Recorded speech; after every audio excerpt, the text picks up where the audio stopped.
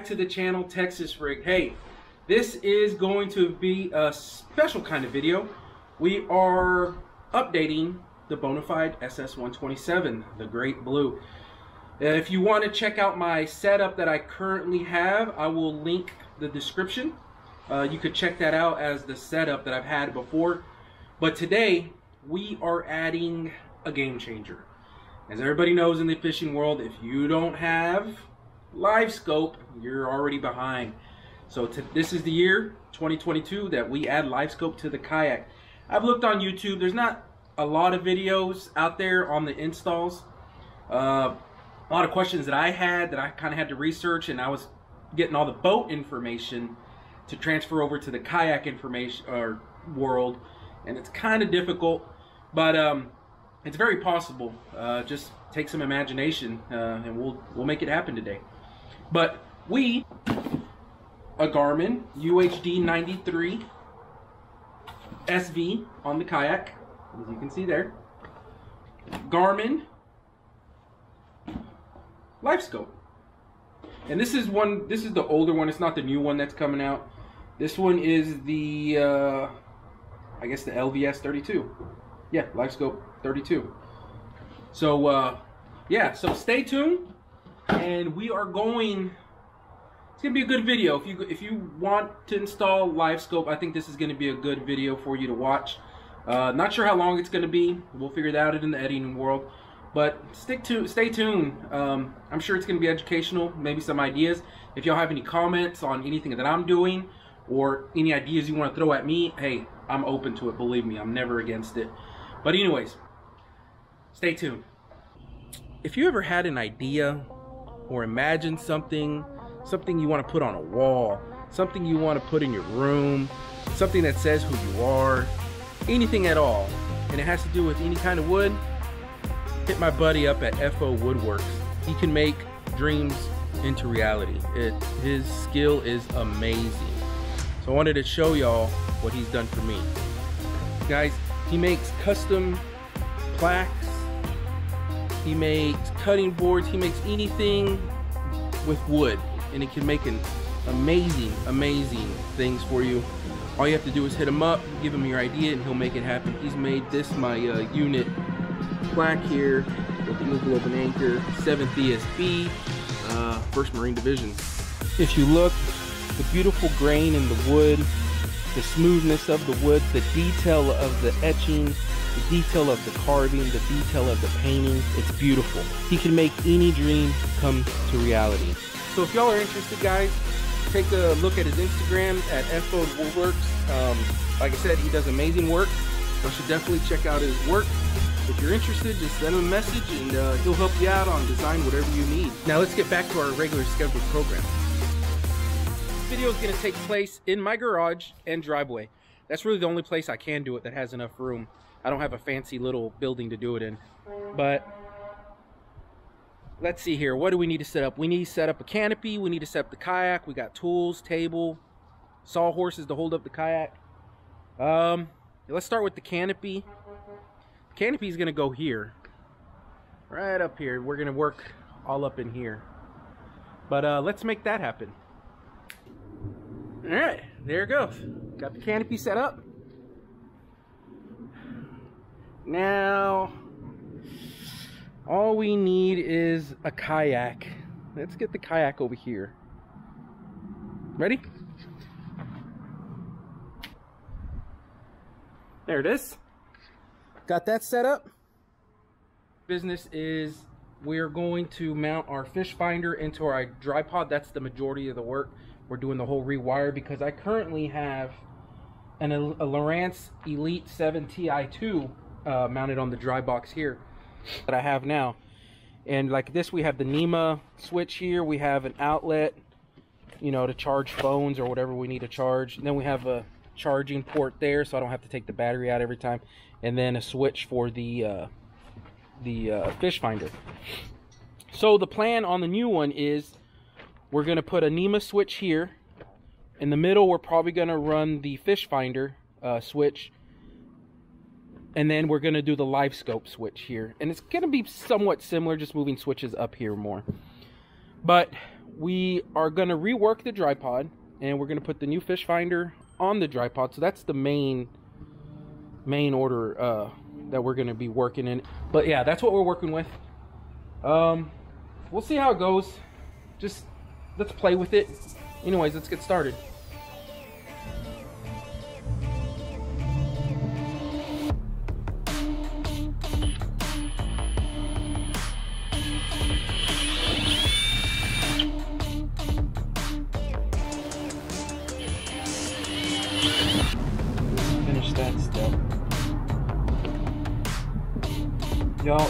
I can't stress enough about using plenty of stuff.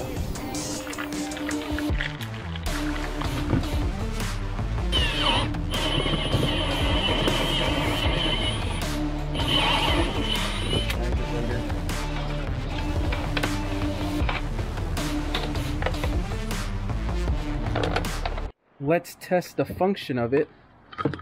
Make sure that it does fit in there. There we go.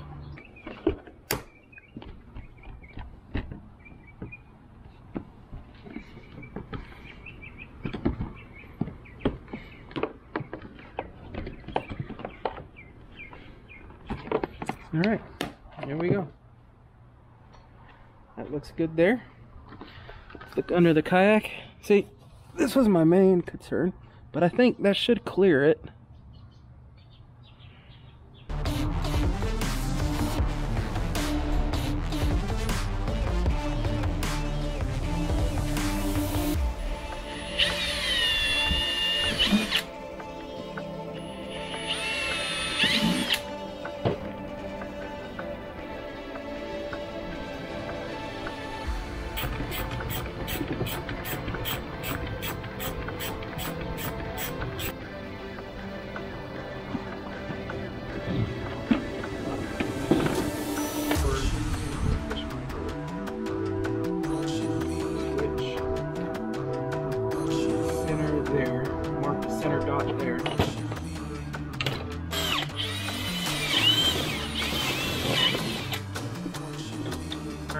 Got center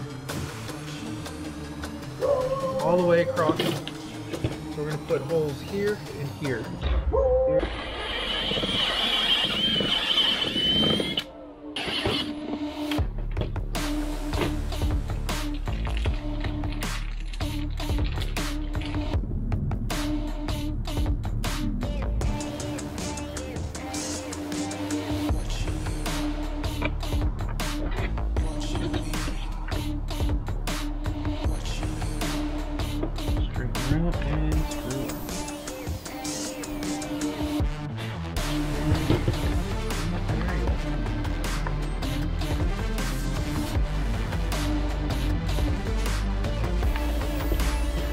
Middle switch is for the fish finder. So what we need to do is we're gonna make these longer by using, we have some 16 gauge wire here.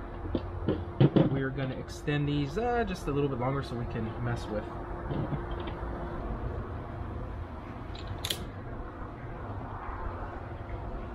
Something easier. There.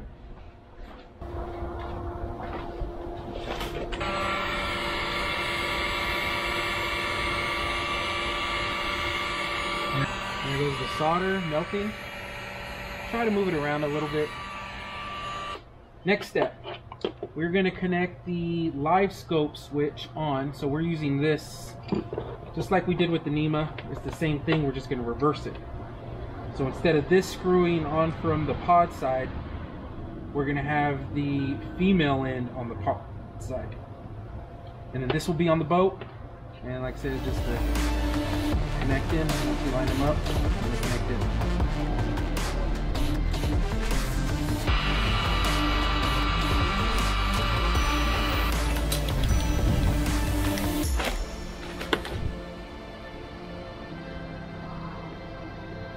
Meter on, off, real simple. Two wires, positive, and negative.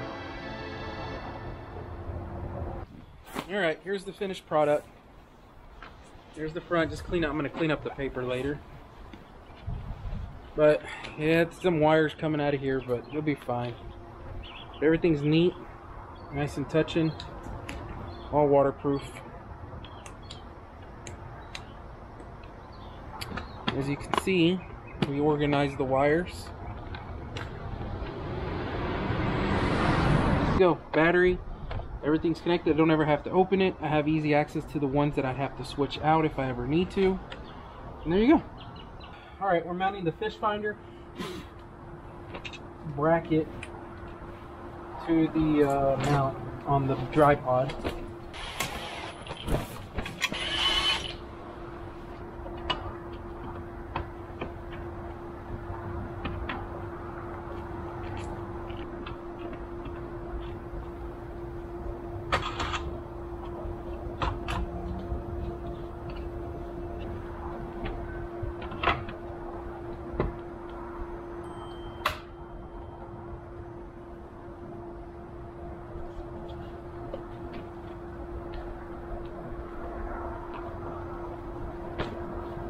There we go.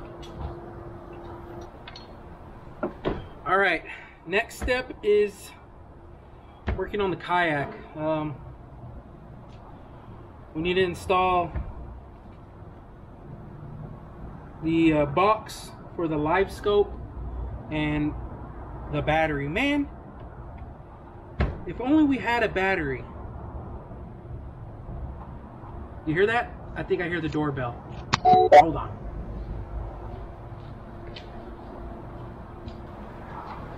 Well, what do you know? We got a battery. It's here.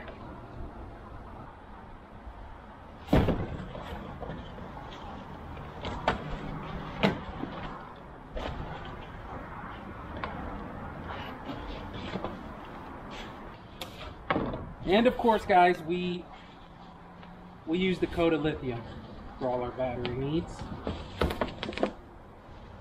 We got the 12 volt, 23 amp. That should be plenty of power for us. And we're going to need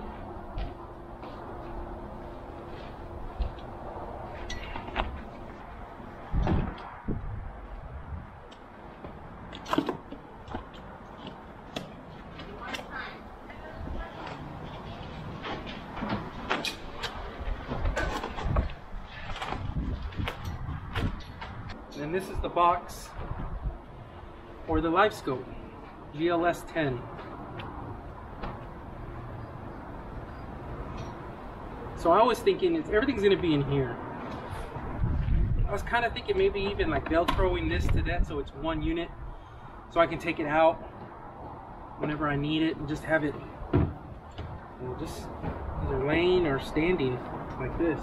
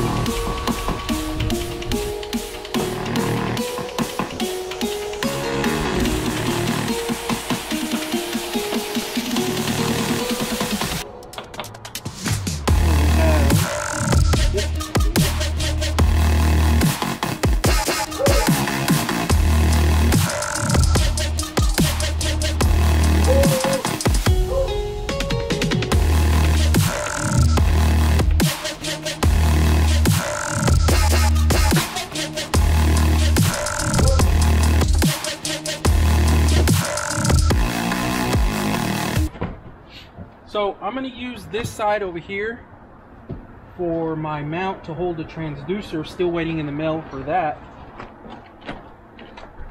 But I'm going to put another one of these, uh, what are they, Yak Attack mounts here so I can move some of that stuff over here.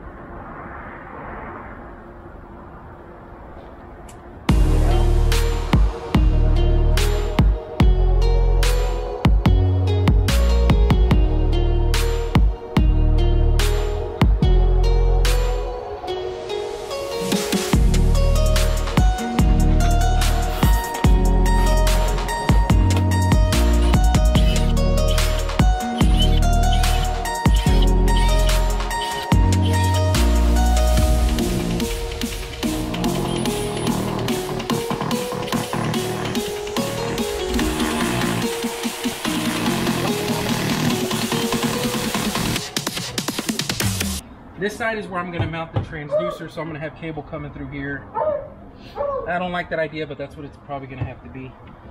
So I'm going to put a mount to the transducer here with the pole. Oh man, that one's in the mail. When is it going to get here? Wait a minute. Do I hear something? Yeah, hold on. Boom. It's here. Got our pole from Fish Finder or FishFinderMounts.com.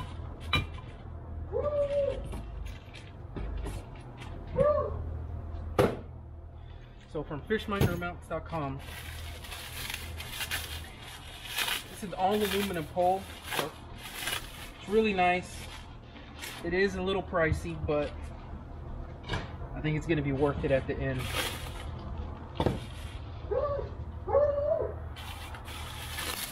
Went ahead and ordered a little perspective mount as well. That way we can get a better view of everything.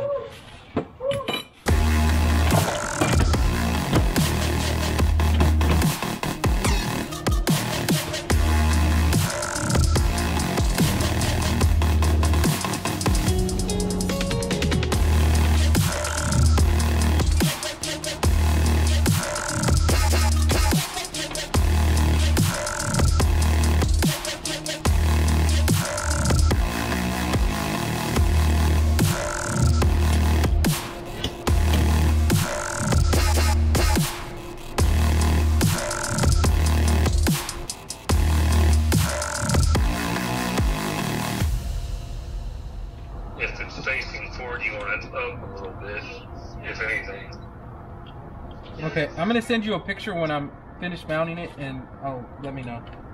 It's Okay. All right, man. Alright, bye. Bye. See, I'm trying to figure this out as we go, too, guys. I'm a little confused. It's hard for me to picture it, but that was Joe. Y'all know Joe.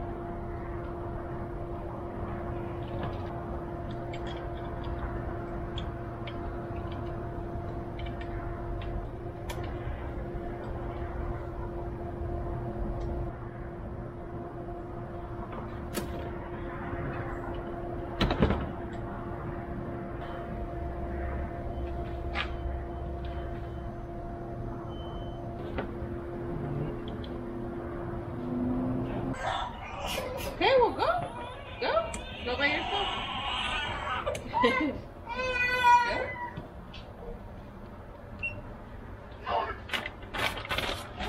go.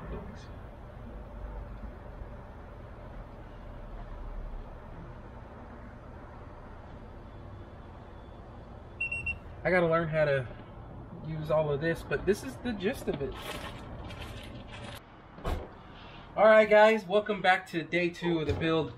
Day two is just organizing wires and finishing up the small stuff. Um, I'm gonna walk you through it on exactly what we did. That way you understand what we did. I know that it was a little quick on the explanation of what I was doing, but this is gonna be the overall uh, look of the kayak for 2022 and probably 2023 and 2024 and 2025 and 2026 it's expensive. I don't plan to do anything else. But uh, let's take a walkthrough. All right. This is the kayak setup. As y'all know before i run my main battery in the back here and it powers my xi3 in the front here and my lights as you can see. But what i did to it was I outed, I added the fish finder mounts. This is their generation 3 transducer pole. The transducer pole is pretty neat. You have the ability to in and out, whatever distance you want. You can take it out completely so that nobody steals it if you're on an overnight fishing trip. Or you can, when you're in the water, you have the capability to flip it up and out of the way just like so. And you can tighten down all the points. whatever you need. Here, here, and here. It comes with another uh, piece, of pole if you need it longer, but I think this should work. If I'm sitting here, I should be able to control what I'm looking at.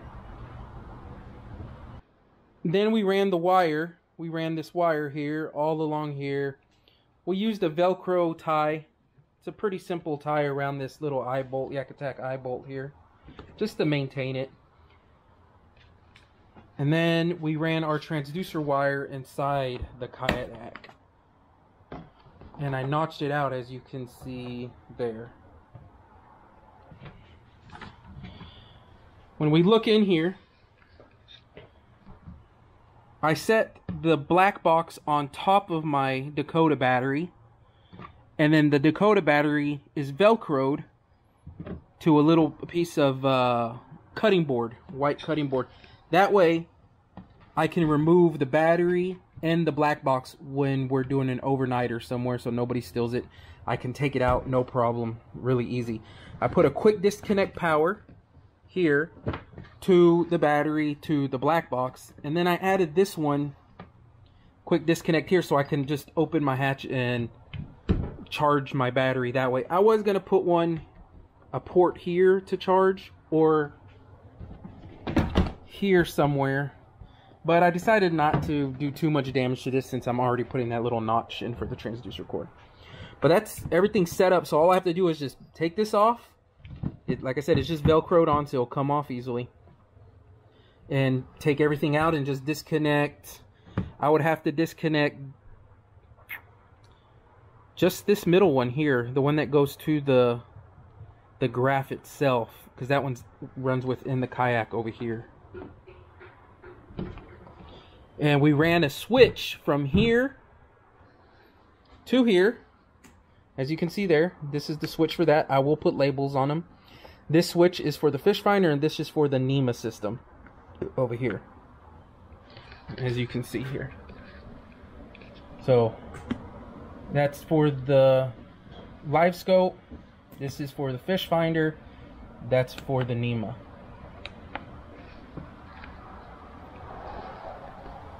let's, let's go ahead and power it up. There we go. Let's say Panoptix. There we are. It's just a bunch of static now. Can't see anything unless it's underwater. But there we go. Guys, if you haven't used this, this this display looks really, really good. It looks really good. But that's that. Maybe we'll do a video on that, explaining that later. There's plenty on YouTube, but we'll see if we can uh, put a little kayak, you know, buzz into it. Uh, we'll see. And then, I didn't explain to you, I also put a charging port here to charge the battery inside the pod. And I went ahead and put a little voltage USB charger there. Just so I can see what the battery's doing. And then this is the inside. As you can see, I have all my wires. They're all zip tied together. So it's all nice and neat. I have a little bag of tools that I might need and batteries and fuses in there. Uh, my Blazer light control. This is what I use to control the lights. And then I keep my remote for my XI30. But that's all there is in there. So that's pretty much it. There's only really one thing left to do. And that's to remove this sticker and put a different one on.